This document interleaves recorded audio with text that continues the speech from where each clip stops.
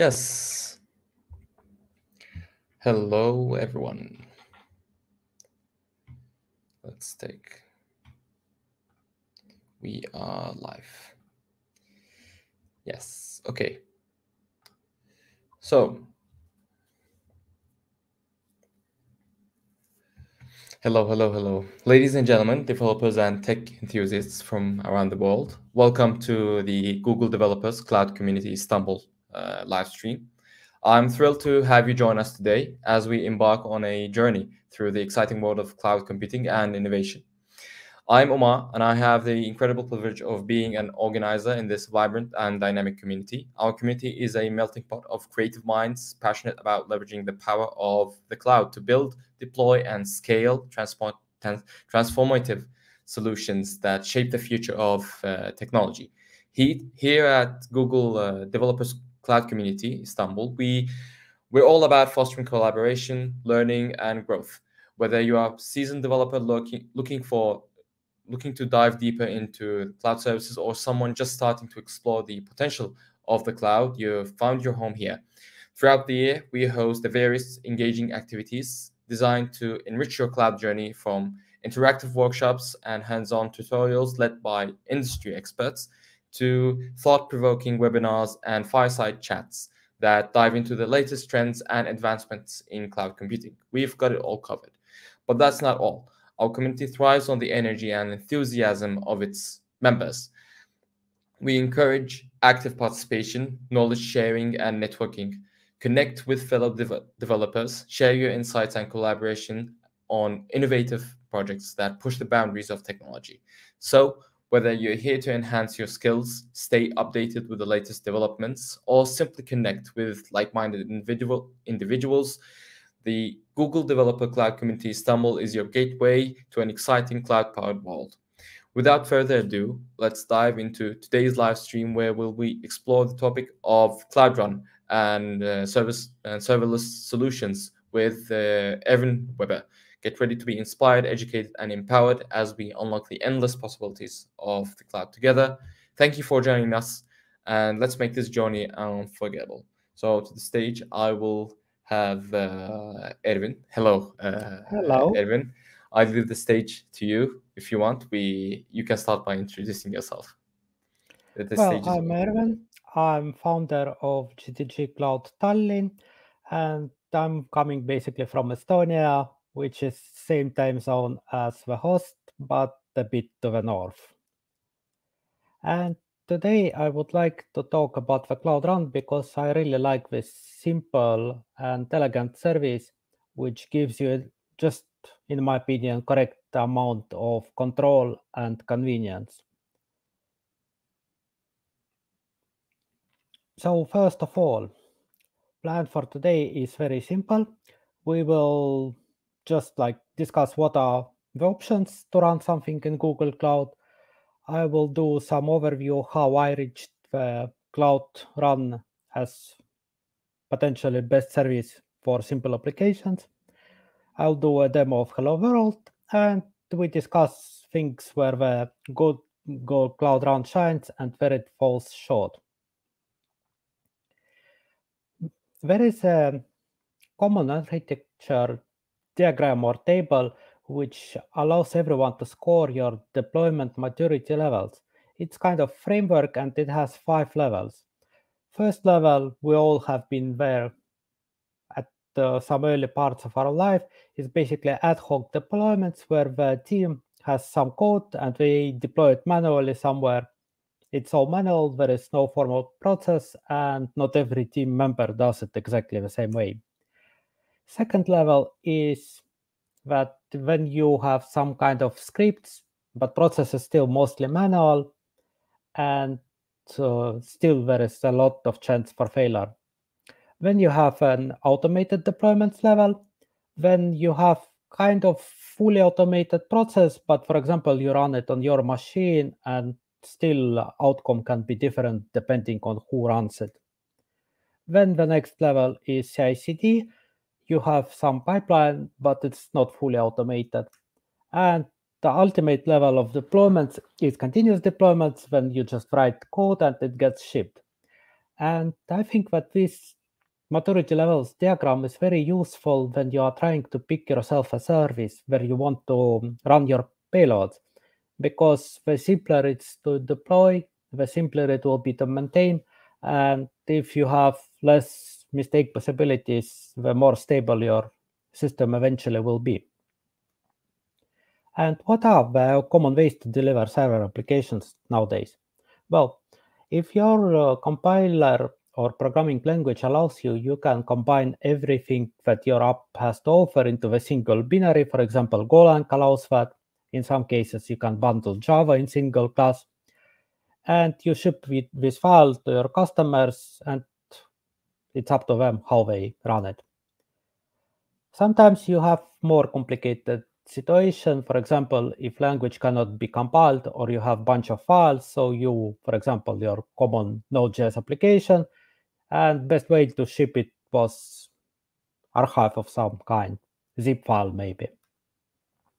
Next level is when you use some form of configuration that needs to accompany your application and you are worried about some dependencies. You can do operating system package like MSI for Windows, Yum, or APK for Linux systems. And when your application gets deployed together with some configurations defaults, everything will be placed in correct folder and you will also be sure that dependencies are also there. Of course, dependencies can go wrong. You have wrong versions and people invented virtual machines to do the whole computer setup, bundle everything, and then you just give the virtual machine a single file to somebody to run. And it was nice, but most efficiently, of course, was to use open container images. Initially, they have been called Docker images, and difference was that you don't need to ship uh, the whole operating system with them. And now you reach a situation when you have some application, you need to deploy it somewhere, and you figured out how to make a container, and you want to run it. So you go to artificial intelligence, be it uh, ChatGPT or Bard or something, and you ask like, how do I use my container? I want to run it. Obviously Bard will give you some answers, you will follow them, and story is complete. However, we are professionals and we cannot simply follow whatever AI says to us. So next um, way to figure out how to run Docker container is to go to Cloud Native Computer Foundation and see what are orchestrators for payloads that are offered there. You will see all the different things like Kubernetes or Nomad or many, many other things. And difference is that if you have foundation behind your orchestrator, you can be sure that the project won't die unexpectedly or it won't turn closed source or just uh, at random change the licensing to something that is not suiting you. So using CNCF projects gives you some kind of assurance and future proofing for your application. However, we are here in GDG Cloud. So what are the opportunities to use Google Cloud? And I will use illustrations by Priyanka, who is Google Developer Advocate, and most of pictures that you will see in the upcoming slides are borrowed from her GCP sketch notes, which are available in GitHub under Creative Commons licensing, or also you can buy them as book. The main uh, five ways to run workloads or basically application on Google Cloud are Compute Engine, Kubernetes Engine, Cloud Run, App Engine, and Cloud Function and I will briefly touch every one of them and say why it's good or uh, not good for my goals. And of course, uh, here is again the attribution for Priyanka's book. You can actually buy it as printed book as well, or you can find uh, all the pretty images in GitHub, Google Cloud Blogs, and very, very plenty of different places around the world. Uh, I will also use the slide here about the cloud security, especially this part of shared fate when I'm discussing ways to run your workloads, because there is obvious trade-off between how much you manage and how much you control have. So sometimes you prefer to do everything yourself and have every bit uh, exactly as you want it. Or for example, in some cases, you just want uh, to write your code and let someone else to handle it completely. You will just say that this is my image and these are the people who need to access it. So App Engine. App Engine is actually the oldest Google Cloud service. And uh, at some point, uh, Google was not even sure if they do regular virtual machines like some competing clouds at time did, or they will go only with App Engine as fully managed service. This uh, service launched to everyone in 2011, and it was taking your source code as input and did everything for you. However, in later revisions, flexible environment appeared where you can provide instead of source code the pre-built Docker image and use it. It's fully managed service, uh, but it's also a problem because it is a closed source system and uh, you basically get the huge vendor lock-in if you use App Engine. It gives some security adjustments to your container, but it can get pretty expensive when you use it because all the managed services they have extra operational costs which you have to cover by paying not by your time and i think huge problem of app engine is limiting uh, app engine to single region per gcp project yes you can have many gcp projects but in every one once you start your app engine service you are limited to single region Next offering uh, that is very popular is Cloud Functions. Uh, it corresponds to Lambda services in uh, competing clouds, and it has support for limited number of languages like Java, Golang, Python, JavaScript. And it's HTTP triggered. You put your code, you get uh, some form of URL back, and uh, it can be cheaper for you because you only pay for seconds that you're actually using the service. So it scales to zero when you're not using it, and you pay only things that you used. Uh, for input, uh, this service takes always the source code of your application and builds it on Google Cloud build service for you you cannot control directly how the image is built and for me it's limiting factor and interesting that in new revision of google cloud functions actually the resulting container is running on cloud run version 2 and it was very interesting to see that one service is actually using second one in background. Uh, compute engine is google cloud version of regular virtual machines. I would say that it's very low level because you basically get virtualized hardware on which you run on virtual hard disk your operating system and configure everything. It has stateful disk and every machine is in single availability zone. It's very fast to provision and it's also the cheapest per second, especially if you consider spot virtual machines, which can be terminated at any time, or if you do committed use discounts and you say that you, for example, buying 10 cores for three years. There is almost no limitation on workloads. You can run any operating system that you, you have licensing for, and you get the whole management overhead. You will need to patch operating system, you will need to reboot machine to apply updates, etc.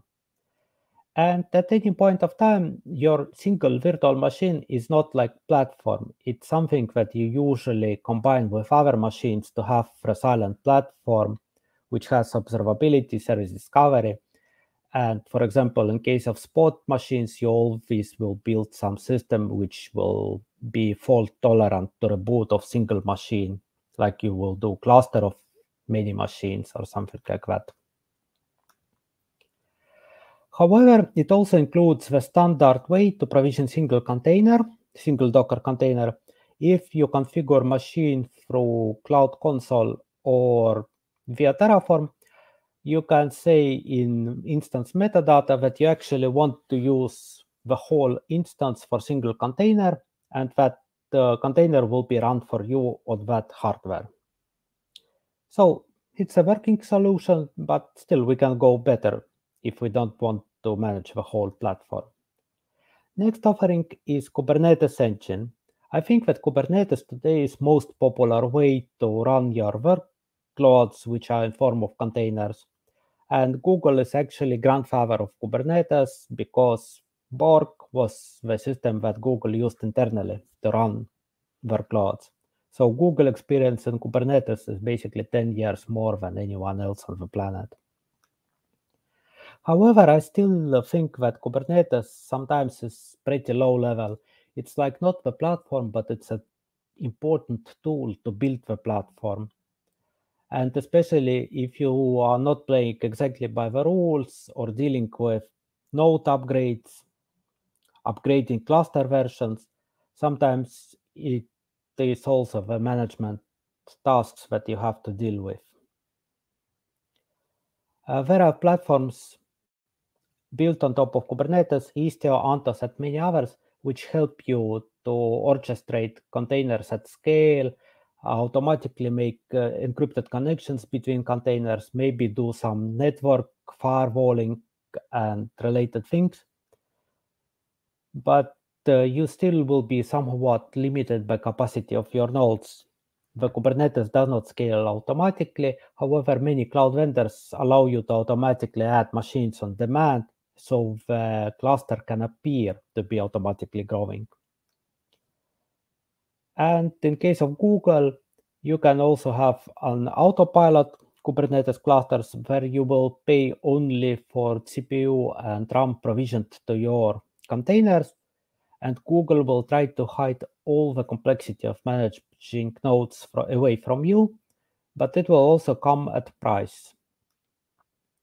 And that brings me to Cloud Run. Similar to Cloud uh, Functions, it's fully managed way to run HTTP workloads in container. You provide your container, you get URL back. And difference with Cloud Functions is that you provide container, not the source code.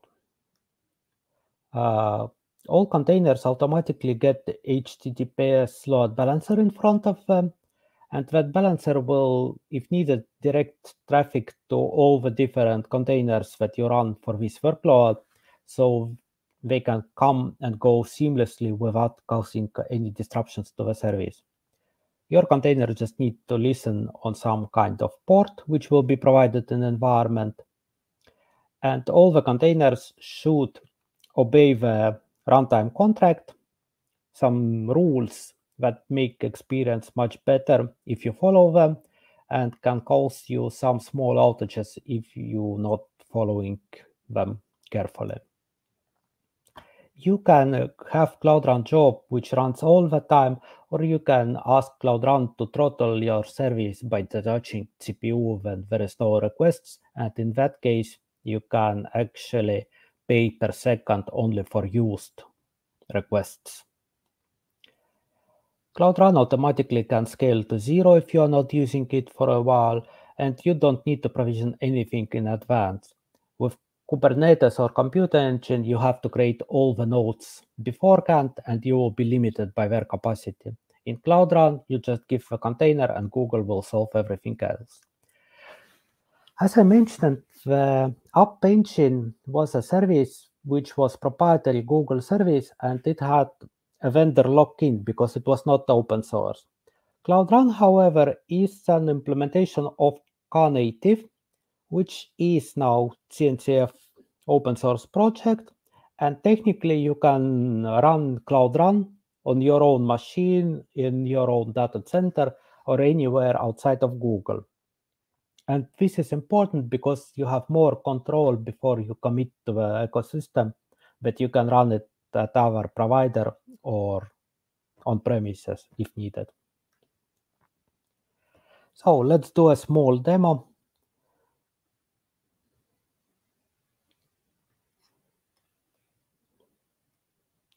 Uh, this link that I copied, it contains the demo Cloud Run container that can be used, but I will just switch my screen to the second tab and I'm already logged into the Google Cloud Console, which I can use for demo.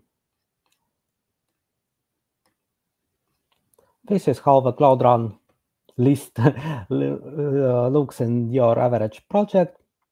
I just create the new service. I pick the sample container, which comes from the GitHub repository that I mentioned already. Let's give it a name. Let's say that we are using scale to zero opportunity. It will be relatively small container. I will have, allow everybody to access this container for now and I'll pick the smallest possible machine.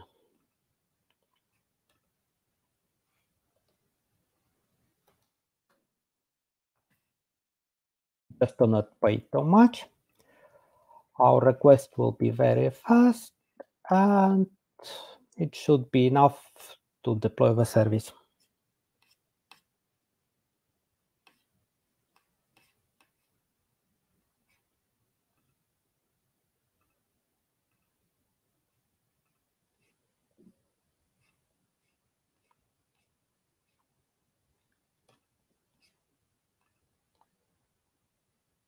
Oh yeah, absolutely.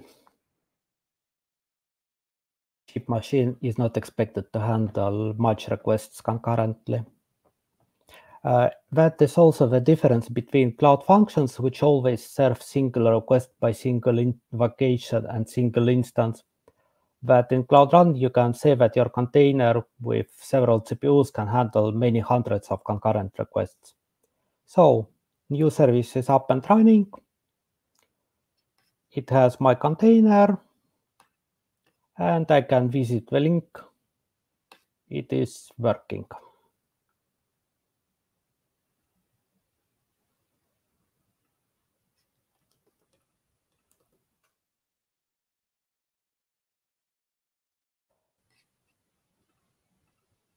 It's very simple service to start using and it's very easy to get running. Now let me continue with slides, please.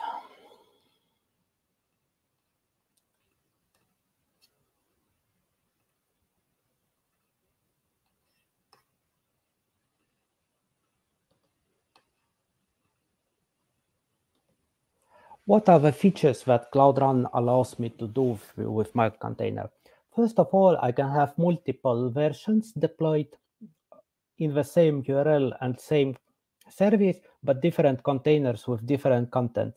And after that, I can do traffic splitting. For example, I can have canary release, which will be received by only one percentage of traffic, or I can do A-B testing with different containers serving different people. So I can do marketing decisions based on that.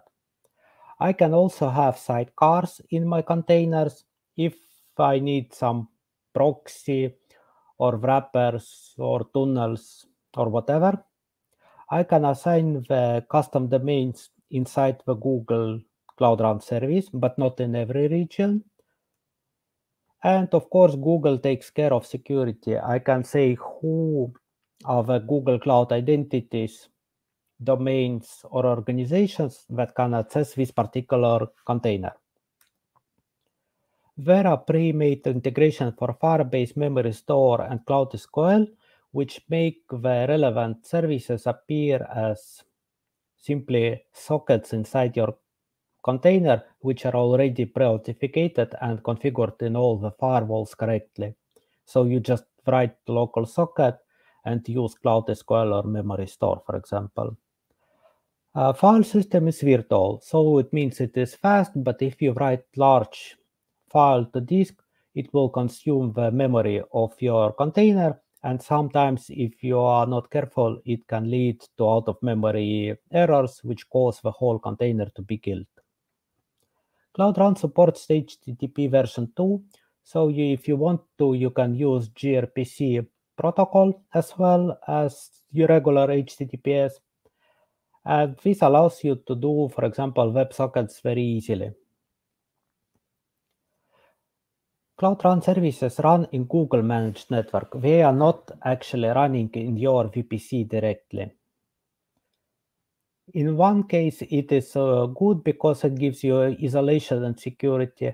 From other side, you will need to do something to connect to your regular network. And containers are sandboxed, giving you extra security. If, for example, your container is written in a way that application runs as root, it will not be the root of operating system that runs with this container. So if the container is somehow breached through vulnerability, the operating system underneath it won't be uh, hurt too much. And Cloud Run, like any other tool, also has several shortcomings.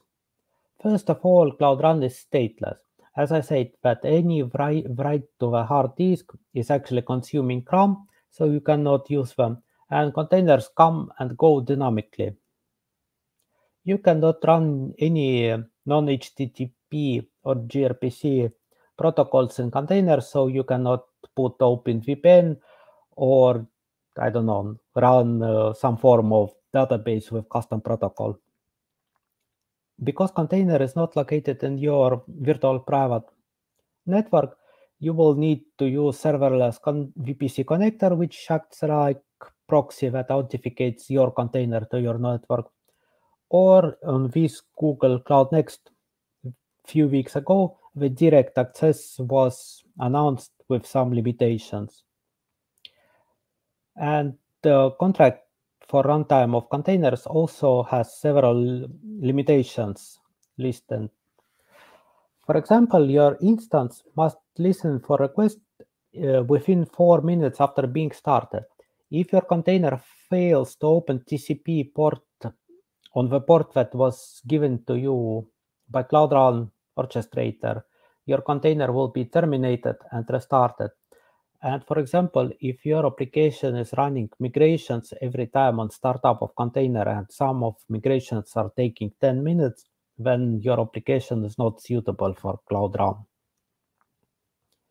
if you have an uh, request which comes to Cloud Run and there are no spare container, the new container will be spin up uh, for this request. But if container is taking too long to start, the request will be discarded if container takes more than 10 seconds to start up. In some cases, it's a fine, but in some cases, you need to be sure that your application is able to actually start and start listening on given port in 10 seconds.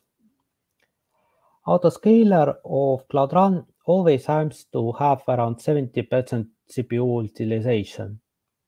This allows you to handle spikes of traffic, but it also means that your more complicated setup will usually have 30% of CPU idle and unused. Maximum HTTP request the duration in Cloud Run is one hour. So for example, if you are doing uh, WebSockets or any um, other form of long run connections, you will need to be sure to reconnect every 59 minutes if you need smooth experience. Autoscaler will wait 15 minutes after your load is gone before the containers are scaled down. So if you had spike, you can expect that you will pay for 15 minutes. And when the container is shutting down, Google Cloud Run will give you 10 seconds between application is warned about upcoming shutdown through the SIGTERM and container is actually killed. In many cases, 10 seconds is more than enough and it forces you to write correct code But in some cases, if you have long running transaction, for example, you will need to restart the transaction in some other instance. And now I would like to take some questions if we maybe have some in audience.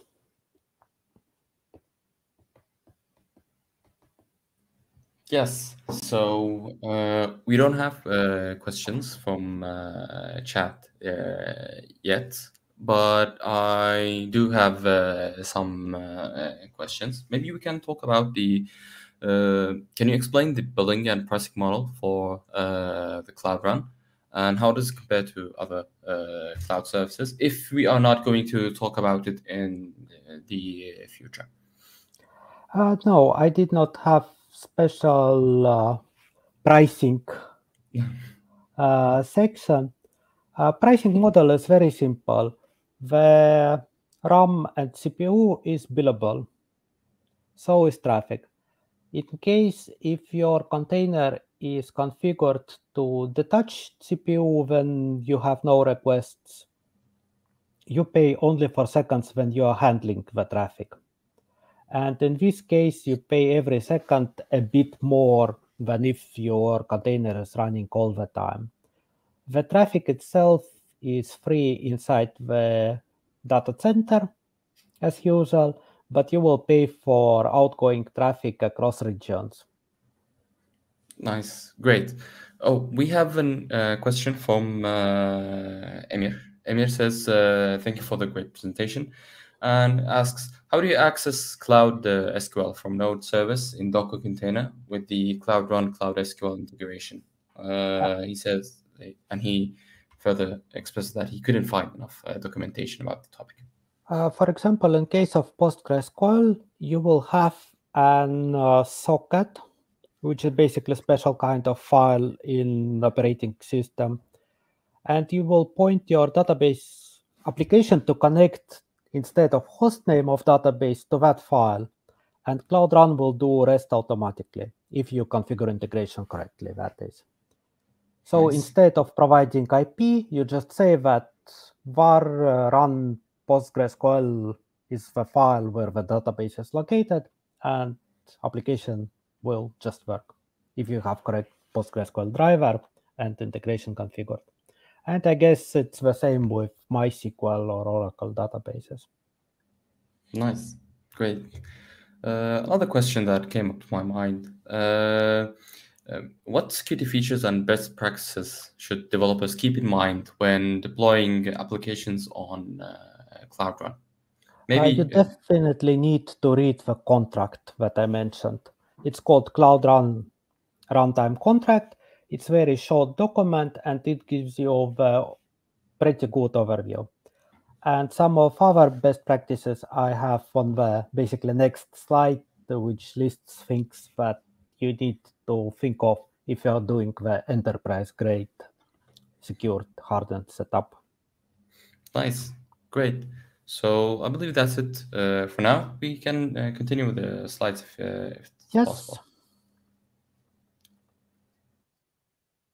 And here we go. So what are the things that I think that are important to do if you're doing like not hello world, but some decent setup? First of all, you will need to put the Google Cloud Load Balancer in front of your service. This will unlock you with several Google Cloud Load Balancer standard features that you cannot by default control in Cloud Run. First of all, you will get the custom IP which will be the static IP, for example, if you configure so. And you will be able to define Cloud Armor policies, which can, for example, help you with DDoS prevention, or you can ban some, I don't know, bad IP address, bad uh, requests coming from particular IPs. Like, I don't know, maybe you need to ban some countries if you don't want to implement GDPR, or if you are being victim of some malware coming from particular IP, the Cloud Armor can help you with that. Uh, load Balancer allows you to use CDN, which will basically cache the files from your Cloud Run container at point of presence closer to your customers and will be very helpful. or you can use identity-aware proxy. As I mentioned, the Google Cloud Run itself, it can allow you to have allow list-based access to your instance. So the uh, requests will reach your container only if they have proper authentication header. The identity-aware proxy is basically login with Google screen that you can put in front of your application so you don't need to deal with authentication inside the app. Instead, you will have login screen and authentication validated by Google itself, and only people with correct Gmail, Google Workspace, or domain, custom domain emails known to your organization will be allowed to reach your container. I believe that Cloud Run services should not be public and they should be configured either to be accessible only from your VPC or from VPC and load balancer if you really need to have traffic outside of Google Cloud reaching your container. And the same thing is about the outgoing traffic. Uh, you should really direct all the outgoing traffic to serverless VPC connector. And inside your VPC, you can configure Cloud NAT and do VPC flow logs. That way, you will be able to log all outgoing traffic from your container and be really aware if there is some malicious activity going from your application to some unknown IP that you didn't expect. And three things that greatly help with supply chain security are binary authorization, which requires your containers to be digitally signed with known authority before they are, are allowed to run in your services. SLSA is a framework uh, which includes guidelines and rules for every step of your code to production service journey, ensuring that you will be less vulnerable to some man in the middle or malicious actor in the middle attacks on the whole journey from your developer workstation the code that runs in production. And SBOM is a very useful technique where your container will be including not only the binary that is your application, for example, which is minified and compiled, by all, but also will have the uh, bill of materials or list of all the packages that have been used to produce that binary. And in that scenario, for example, you can easily say that your container is vulnerable or not vulnerable to some freshly discovered vulnerability. It's very useful because if you don't have this information, you cannot uh, say which are the containers that, for example, are affected by log4j problem. But if you have this metadata in your containers, you're good to go. And if I would need to pick like three best feature that I'm taking from this list, it would be binary authorization, identity aware proxy, and ability to have VPC flow logs if traffic is directed from my custom network, which are the three steps that I think are more most important to have very, very secure setup. But that's all with my slides. I would like to talk on, or take questions from audience now. Feel free to join me in LinkedIn if you have some questions after the show as well. Yes, thank you so much for the presentation. I believe that it uh, very much uh, valuable. Emir uh, comes uh, with uh, another question. Uh, he has found uh, Cloud Run to be more costly than uh, Cloud Functions. And maybe after going uh, over the 2 mil Cloud Functions free uh, tier requests, the pricing of Cloud Run becomes more attractive. Maybe a question mark. Well, thing is that the Cloud Functions version 2 environment actually runs on Google Cloud Run, and you can even see relevant containers listed under Cloud Run services in your uh, Uh, Google Cloud project. So I would say that pricing is more or less same. However, for example, in Cloud Function, you always have one billable instance per incoming request. On Cloud Run, you can multiplex requests so that if there are, say, five incoming requests, you need only one or two containers to handle them all, and you will pay only for two billable CPU seconds at that time. I see. Well, hope I mean, well, hope that answers uh, your question, Emir. Uh, another question, personal question uh, mine. Uh, what tools and integrations are available for monitoring and debugging applications running on uh, Cloud Run? Can we talk a little bit about that?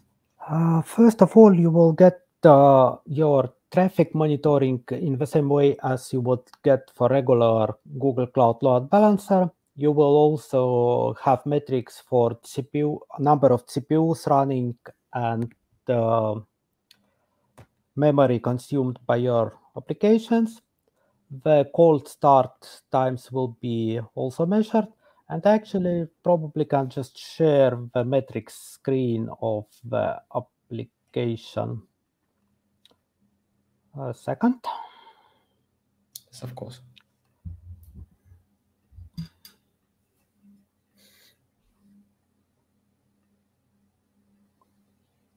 You probably now see it. Yes. If I open the AD Cloud Run service, I will be presented with metrics page by default. Uh, these are throwaway hello world container that I deployed yesterday, so there is not much.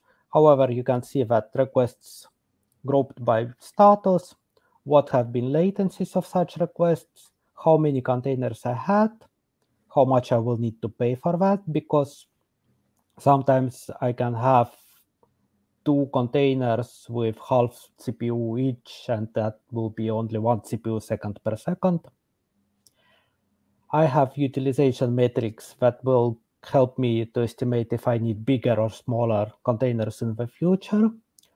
Traffic estimations, because traffic is billable, and things like concurrent requests and startup latency.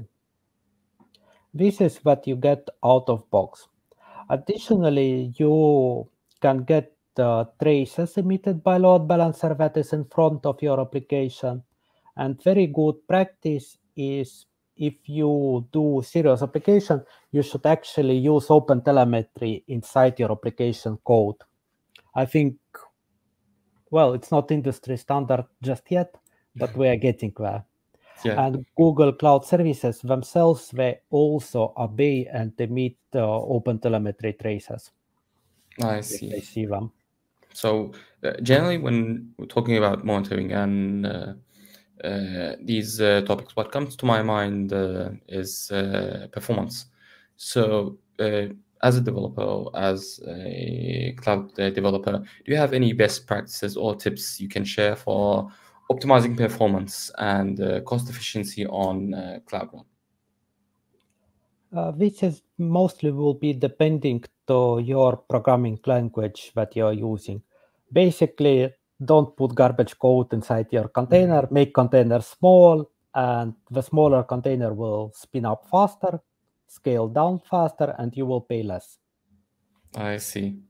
So the less and compact it is, the more fast and the more optimized it's, uh, it's run.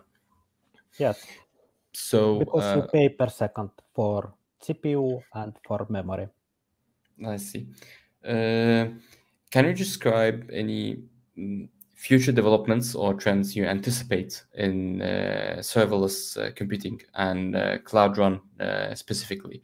Maybe uh, in this age we have large language and large language models and generative AI booming in this year. How does this affect cloud run or other uh, sectors, how does it affect uh, Cloud Run as you see as a cloud uh, developer?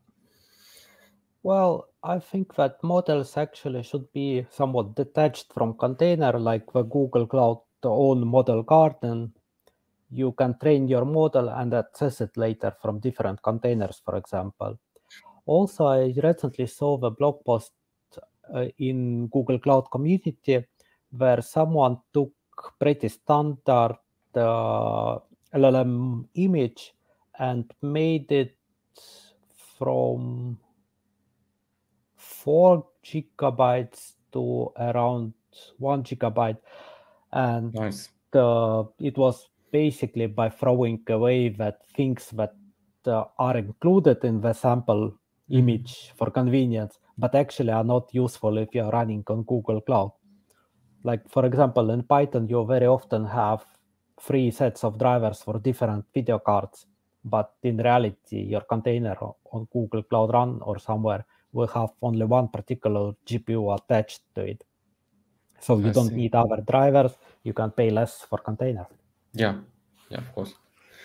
Emir has uh, another question. Uh, for scalable microservice architecture, what is the best practice cloud functions or uh, cloud run? I think it's uh, mostly a question of your preference, especially if we know that Cloud Function Generation 2 runs on Cloud Run Generation 2 in background. For me, there is very big blocker for using Cloud Functions is the artifacts that they use. To deploy Cloud Function, I need a zip file of my source code. And when you have half of your company software developed and archived in Docker registry, and having some zip file registry next to it feels somehow non-standard. And in many cases, Google build packs that used to build your container are very, very good. But for example, I have more than once stumbled onto a situation where Cloud Functions and build packs have disagreement with me about how to build the container, and I cannot influence it in any way. A good example may be the JavaScript and Yarn, for example. Yarn guidelines say that Yarn should not be used in production. You always run uh, your software directly as node and your package, for example. However, build packs will insist that you need to use yarn start, for example. I see. Thank you. Uh, finally, let's uh, close up with this uh, question. Uh, do you have, uh, maybe as a seasoned uh, developer, are there any case studies or success stories you can share about companies that have achieved significant benefits using the using Google Cloud Run? Well, Cloud Run is a tool. Usually you achieve success because your product is helping somebody, not because it runs in Google Cloud Run or not runs in Google Cloud Run. Uh, for me, Cloud Run was unlocking the power to move fast, for example.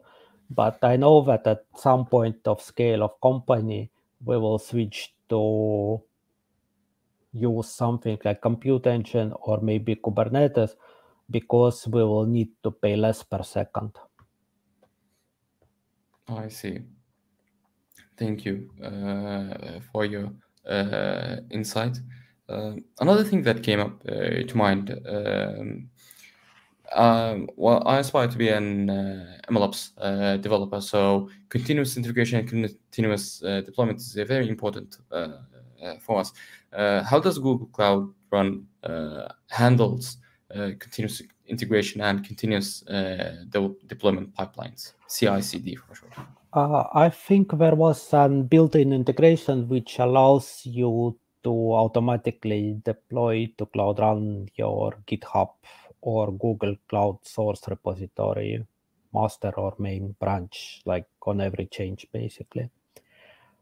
Uh, that is actually also a good point about the Google Cloud Functions versus Cloud Run. In say, in case of Cloud Run, you can have single container which will go to development, pre-life, life environment. However, with Cloud Functions, you always get new container built from your, sor your source code. And depending on, for example, how tightly your package is locked, you actually can get different containers in different environments on Cloud Functions. I see. Thank you. Well, I believe uh, this is it for uh, today. Uh, I don't have any further questions, and I believe the viewers also don't have any uh, further questions. But if you have any further questions that came up to mind, you can connect with me or uh, connect with Ervin Weber as uh, he stated on the uh, on in his presentation. You can connect with him uh, on LinkedIn, I believe so. So uh, thank you all for coming. hopeful, hope to see you again in our next event. Thank you so much. So Have a nice evening. Bye. Have a nice evening.